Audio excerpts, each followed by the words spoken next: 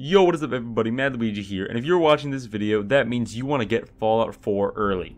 And if you're not an employee of GameStop or Steam, and you don't have easy access to getting uh, copies of the game before it releases on November 10th, then you will want to hear some of the things I have to say in this video, uh, some methods of getting a game before its supposed release date, such as November 10th for Fallout 4.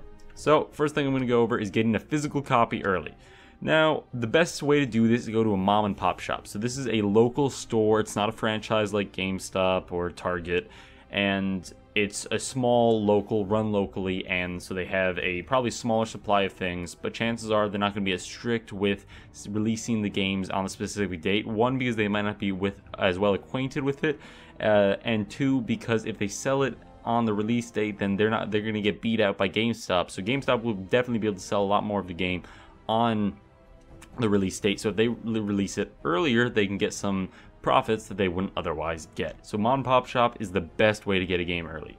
You can also go for a shipping service that ships out games uh, or anything else early. I know some Amazon Prime people had the their estimates of when Fallout 4 should get to them. They had it as before November 10th, so that's an option.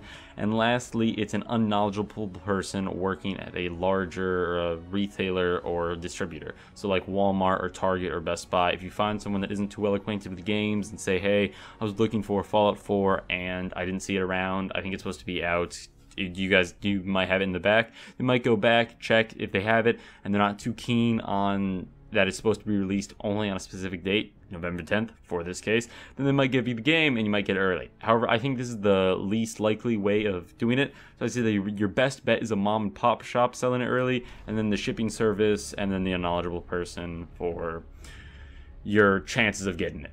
Now onto digital. I want to say for digital for consoles, I'm not sure, but for Steam, if you're going to do the way I'm about to tell you, it is violating the Steam's terms of service, and your account can get banned, like take completely taken away from you, and all your games taken away from you if you do this. So be warned, and you're only going to get 15 hours earlier to play the game. So the method you're going to want to use is getting a VPN. Now, a VPN is a virtual private network. If you don't know a lot about it, you can look it up, but it's basically secures and protects your the privacy of your internet usage. And you have to get a VPN that has an IP address set up on Australia because the game releases by time zone and Australia is the first time zone or Australia has the first time zone in which the game is going to be released. So you get an IP that's in Australia, your game, Steam, or your console thinks that you're in Australia and it releases the preloaded game.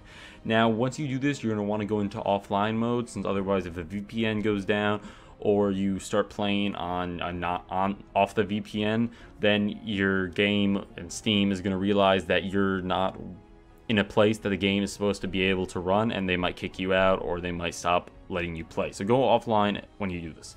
I will reiterate that do this at your own risk, I am not a bearer of any responsibility if your account gets terminated for doing this because your account on Steam can get terminated. I don't know about consoles.